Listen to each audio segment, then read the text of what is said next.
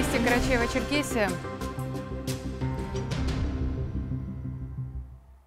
В Карачаево-Черкесии в 2022 году нацпроекты выполнены практически на 100%, заявил председатель правительства России Михаил Мишустин в ходе выступления с ежегодным отчетом о работе правительства в Госдуме.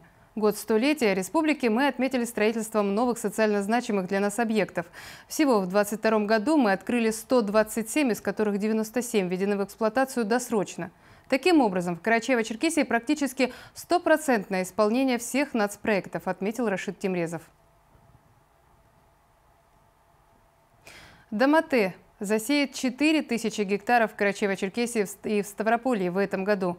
Группа компаний завершает подготовительные работы к весенней посевной кампании в СКФО, где агрохолдинг развивает проекты по производству баранины – Посевная стартует в конце марта и пройдет согласно графику. Растениеводческое направление позволяет компании формировать собственную кормовую базу для откорма овец.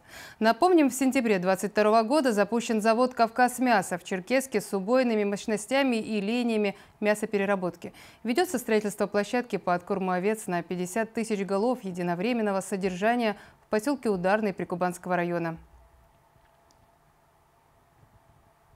Последний раз такое событие аульчане наблюдали сто лет назад. В Арсаконе торжественно открыли новую соборную мечеть. Долгожданное для всех верующих событие, живущих в этом поселении, свершилось благодаря совместным усилиям неравнодушных односельчан и меценатов. Ахмад Халкечев продолжит.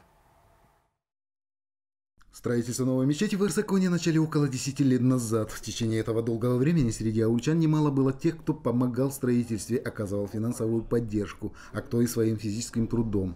У кого не было возможности поддержать средствами и стараниями своими искренне молились. Землю на богоугодное дело тогда безвозмездно выделил уроженец аула Ирсакон, общественный деятель и бизнесмен Урслан Конов. Еще до торжественной части открытия первые прихожане новой мечети совершили первый коллективный намаз. Акадий Духовного управления мусульман районом Карачаево-Черкесии по Хабирскому и Адыгахабльскому районам провел и первую проповедь. Это месяц собора. Проявляйте, иншаллах, собор, терпение по отношению к себе, по отношению к семье, по отношению к соседям. Чтобы лично поздравить аульчан со столь знаменательным событием, в Ирсакон приехали председатель Координационного центра мусульман Северного Кавказа, муфти Карачаева-Черкесии Исмаил Хаджибердиев, премьер республиканского правительства Мурат Аргунов и глава Адыгахабльского района Эдуард Дерев. Исмаил Хаджи поблагодарил всех причастных к строительству мечети, но особо отметил Галима Рамазановну Хевсокову, которая взяла на себя основные финансовые расходы. То, что мы даем грамоты ордена, медали. Это все для того, чтобы как-то показать свое уважение. А действительная награда от Всевышнего Аллаха. Тот человек, который построит мечеть, этот человек будет в раю обладателем такого же дома. Неоценимый вклад Галима Рамазановна, ставший решающим для завершения строительства, благодарностью правительства Карачаева-Черкесии отметил Мурат Аргунов. Мечеть является не только местом для совершения намаза, но и местом для морального и духовного воспитания человечества. Я уверен, что э, данный месяц будет побуждать нас, в нас только благие дела, молитвы, еще раз спасибо всем большое. Всех благ. Новая мечеть, помимо двух больших залов для коллективных богослужений, располагает еще и вспомогательными помещениями. Имеются отдельные обдезные для мужчин и женщин, а также административная часть. В небольших религиозных праздниках новое культовое сооружение сможет вместить до полтысячи прихожан. Дай Бог, чтобы не сто лет один раз строилась мечеть, а каждые 10 лет, чтобы мы имели мечеть, и они были полны, и они приносили счастье в каждый дом. Старая мечеть, отстроенная еще в 20-е годы прошлого столетия, как делится аульчане, уже давно не справлялась с той нагрузкой, которая приходилась на нее в дни больших мусульманских праздников, как Курман-Байрам и Ураза-Байрам. Теперь с открытием новой соборной мечети, пережившему непростые испытания большевистского лихолетия, отведут роль квартальной мечети. Ахмад Халкевичев, Олег Малкожев, Вести Карачаева-Черкесия, Адыгахабльский район. Сейчас прогноз погоды, а после мы продолжим выпуск.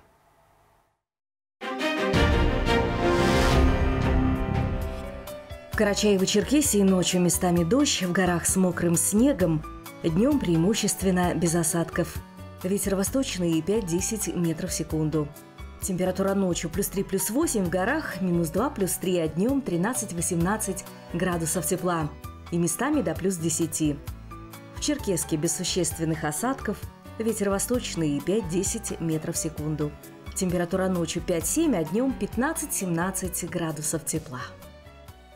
В картинной галерее открылась выставка двигающихся, говорящих и поющих героев из любимых советских сказок и мультфильмов. Ждем вас ежедневно с 10 до 19 часов. Выходной понедельник. Сателла мебель. Широкий ассортимент от мягкой до корпусной мебели. Доставка по Карачаево-Черкесии Ставропольскому краю бесплатно. Станица Отрадная, улица Широкая, 2Б, второй этаж. Телефон 8 952 836 47 03.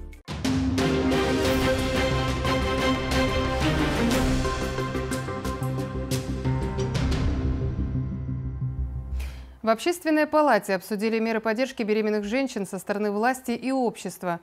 На федеральном уровне было принято более двух десятков различных мер, которые в идеале должны стимулировать увеличение рождаемости населения. Однако, по данным представителей сфер здравоохранения и соцзащиты, есть ряд причин, почему предпринимаемые, в частности в Карачаево-Черкесии, шаги пока не дают существенного эффекта. Этот вопрос, конечно, очень актуален, очень важен, потому что демография в нашей стране, нашим президентом Владимиром Владимировичем Путин уделяется очень большое внимание.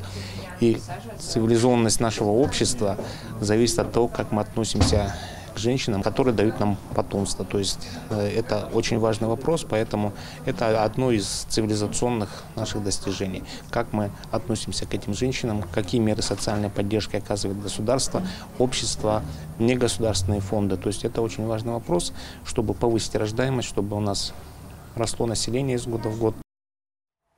С 27 по 31 марта в региональной общественной приемной председателя партии «Единая Россия» будет проходить неделя приемов по вопросам жилищно-коммунального хозяйства. Желающие могут обращаться по всем вопросам по адресу Черкесск, Ленина, 154 с 10 до 13 часов или по номеру 20 12 12. Скоро состоится премьера спектакля режиссера из Кабардино-Балкарии Анзора Ямкужа. Постановка «Шахри» по произведению Расулом Гамзатова «Аттестат зрелости». Приурочена она к юбилею поэта. Сейчас в театре проходят заключительные репетиции. Адаптация поэмы под пьесу сделана драматургом Зурабом Бемурзовым. Какие планы предстоит еще реализовать, Анзор Ямкуш рассказал Альбине Ламковой. Расул, возьми меня замуж. Первый жених будешь мамуля. Отдай, папа. Не отдам. Янус, я никогда на тебе не Стоп, стоп, стоп! Хорошо. Дети, еще раз повтор, пожалуйста. Извините. Режиссер стремится показать в спектакле душевные переживания юности Расула Гамзатова. Монологи о себе, о своей жизни, о своем прошлом погружают зрителей в творчество поэта. Актеры предлагают всем путешествие в прошлое вместе с Расулом. Эмоции окунают в море юношеской чистой любви. Воплощают на сцене ее зарождение. В своем творчестве Расул Гамзатов старается сохранить национальный колорит, традиции.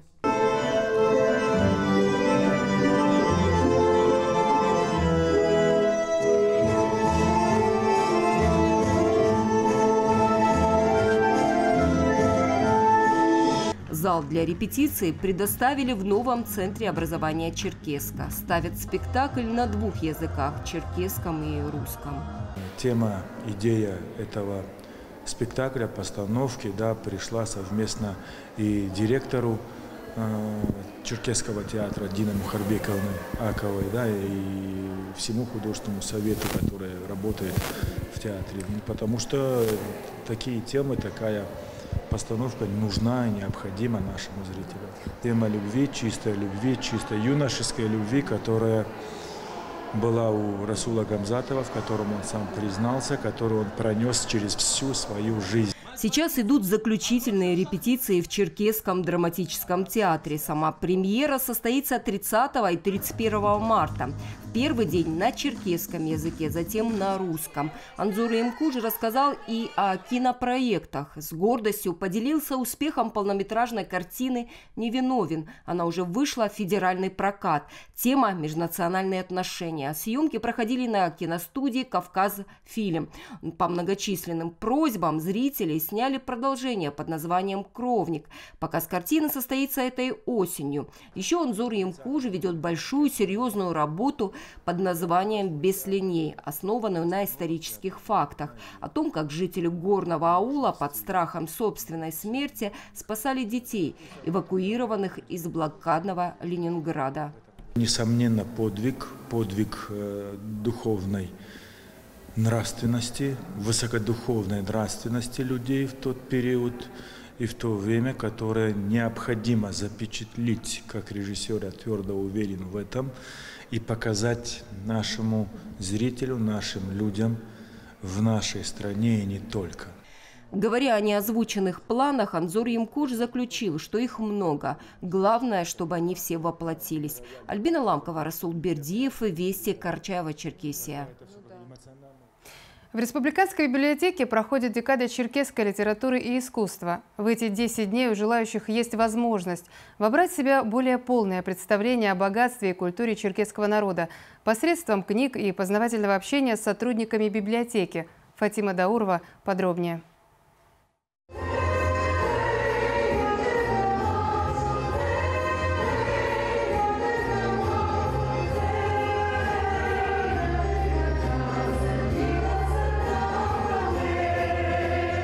Подпевать знаменитой песни «Нальмас» оказалось невозможным. Ее красивая душевная мелодия и пронзительные слова созвучны сердцу каждого адыга. Песня – маленькая частичка тысячелетней культуры, которую сейчас черкесский народ стремится сохранить и передать молодежи. И литературный вечер о предках памяти берегу, который дал старт декаде черкесской литературы и искусств, одно из мероприятий, направленных на преемственность поколений. Если у вас будет интерес к тому, что делается здесь в музее, здесь в библиотеке, в нашем музее, в наших театрах и в Черкесском театре, если мы говорим про черкесский культурный пласт, и в остальных национальных учреждениях нашей республики, тогда у нас есть шанс, что вы, ребята, эту культуру сохраните и пронесете вперед. Если же мы не мобилизуемся не придумаем, как вам это сделать интересным, а вы, в свою очередь, не будете этим интересоваться, то я боюсь, что уже ваши дети ничего не будут знать про культуру про наши родные языки. Поэтому очень важно, чтобы вы, каждый, понимали, что от каждого из вас зависит, а сохраним ли мы нашу культуру. За трибуной по очереди выступали представители творческой и научной интеллигенции, общественных движений, образования и СМИ республики. Доклады спикеров касались тем разных сфер деятельности. Основные из них – сохранение адыгского языка и культуры, воспитание подрастающего поколения в духе патриотизма и интернационализма. Без знания языка родного языка, без знания родной литературы, черкесской литературы, мы не можем существовать. Именно язык – это тот материал, это тот источник, из которого черпать можно всю жизнь. Это и культура, это и обычаи, это и традиции, а язык, он передается из поколения в поколение. И насколько будущее поколение воспримет этот язык, насколько он впитает все художественно-выразительные средства языка данного народа, это, конечно же, зависит от нас, Героизму и мужеству черкесских писателей и поэтов была посвящена видеопрезентация про писателей-фронтовиков, созданная на основе книги «Воспевшие Великую Победу», изданной Республиканской библиотекой, а живописное искусство было представлено работами известных черкесских художников. Вечер также украсил выступления артистов драматического театра имени Мухарбека Акова. Наравне с ними выступали юные школьники-декламаторы, которые представили публике частичку черкесской поэзии поэзии. Фатима Даурова, Зарема Карданова, Али Бастанов, Вести, Карачаева-Черкесия. И о премьере на телеканале «Россия». В воскресенье 26 марта в 17.15 смотрите специальный выпуск программы «Синяя птица и друзья», посвященный мамам и бабушкам. В этот вечер на сцену выйдут участники прошлых сезонов, а вместе с ними российские звезды. Одним из самых ярких моментов спецвыпуска станет выступление цирковых артистов – Впервые зрители увидят головокружительные акробатические номера, превзошедшие мировые рекорды.